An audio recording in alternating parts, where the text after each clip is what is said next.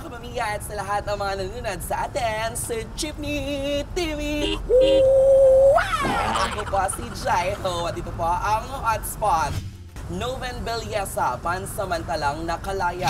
Mula sa panulat ng Push.com ay nakumpirma na bailable ang kasong sexual assault na isinampa kay Noven Belyesa. Ayon naman sa abogado ng complainant, and I quote, may rape pa din na nag-consummate. Under the expanded anti-rape law, rape pa din ito. End of quote. Samantala, naniniwala naman ang ama ni Noven na inosente ang kanyang anak sa lahat ng mga akusasyong ito. Napaka-sensitive nga ng isyong ito mga kapamilya ha. Sigurado na sa ngayon, mas mabuti ay ipagdasal natin na lumabas at manaig ang katotohanan, diba? Yun na! Hi mga kapamilya! Mag-subscribe na kayo sa ABS-CBN Entertainment YouTube channel. Para sa more, more, more videos and more, more, more chika, click nyo na ang I button.